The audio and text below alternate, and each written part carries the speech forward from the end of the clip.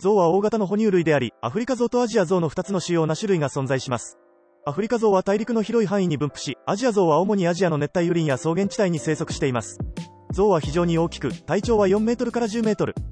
肩高は2.5メートルから3.5メートル、体重は5トンから7トンにもなることがあります。象の特徴的な外観には、長い鼻と大きな耳があります。これらの特徴は彼らの生態に適応しており、鼻の長さは食物の探索や水の摂取に役立ち、大きな耳は体温調節とコミュニケーションに寄与しています。このチャンネルでは、たくさんの動物について紹介していきます。大人の方もお子さんも安心してご覧いただけます。よろしければいいね、チャンネル登録をよろしくお願いいたします。